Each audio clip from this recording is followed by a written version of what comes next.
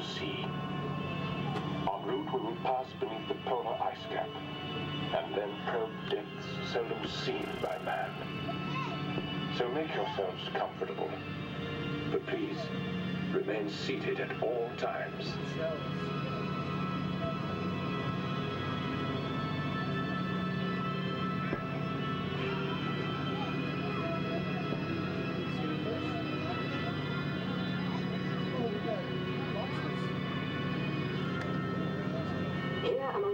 Among you will see many familiar inhabitants of the undersea world. The great green sea turtles, for instance, are the reptilian patriarchs of the deep.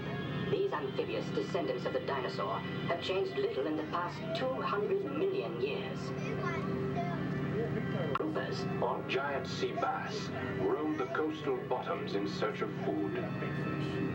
The giant clam, obviously, is quite safe from such marine predators. The fish world has always been considered a silent habitat. But with our sonar hydrophones, we have discovered that fish actually talk. Listen.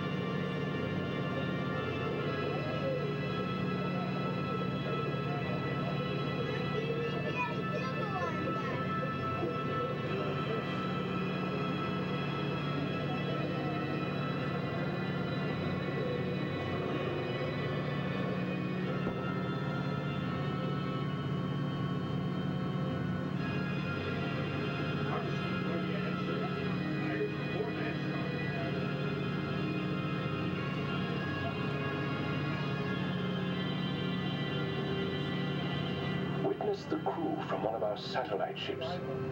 They are harvesting the abundance that nature has sown here beneath the sea. Kelp beds are cultivated, sea creatures corralled and protected from predators, just as terrestrial shepherds protect their flocks from ravenous wolves.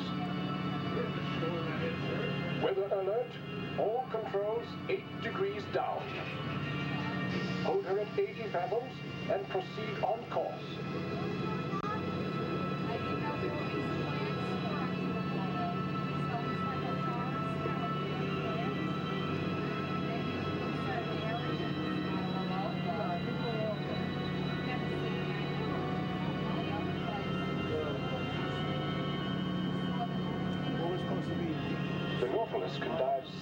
Below the violence of ocean storms. Surface vessels are not so fortunate. Witness the evidence of their fate. The graveyard of lost ships. For ages, these rotting holes have kept their secret treasures, safeguarded by silent sentinels of the deep. Man-eating sharks, nature's most unpredictable predators of the sea. Two of them.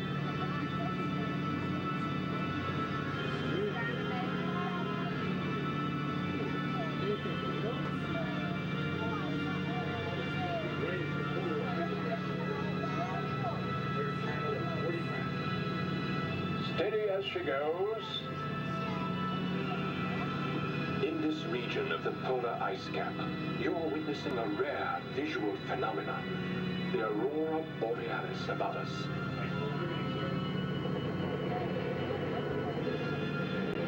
Take her deep and keep an eye on the depth gauge.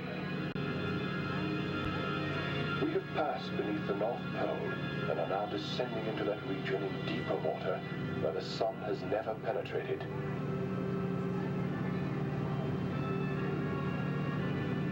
Here, in this realm of eternal darkness, nature has provided her creatures with their own eerie luminescence. Take her back up to 80 fathoms. There are limits beyond which puny efforts cannot survive. We have almost exceeded those limits.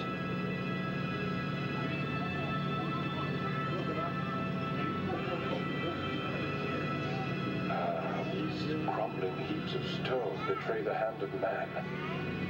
I believe we've made a startling discovery. These classic ruins could very well be the legendary lost continent of Atlantis. Some scholars theorize that a remarkable civilization was destroyed by a tremendous volcano. Others treat any concept of Atlantis as pure fantasy, along with legends of sea serpents and mermaids.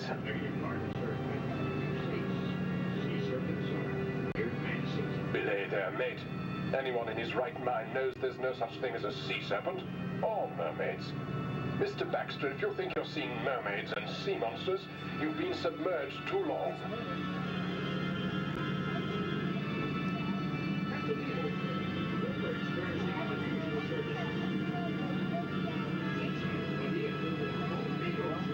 By Neptune's flippers, this confirms it. That seething mountain still denies rest to the civilization it submerged thousands of generations ago. Helmsman, steer clear the tottering columns. Red alert!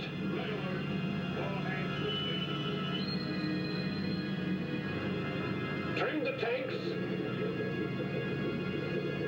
Steady as she goes.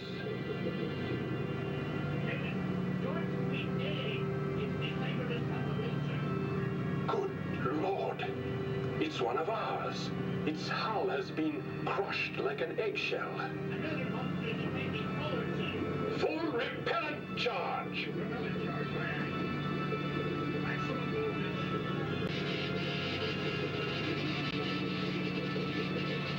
All ahead!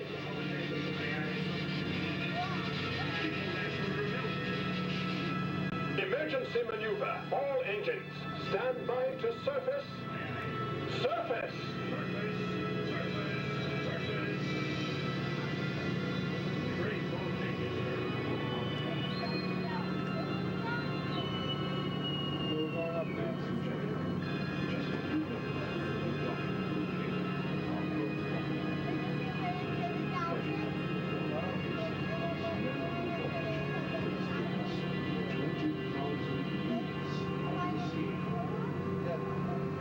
Captain Nemo requests that all crew mates please remain fully seated until the all ashore has been given by the captain.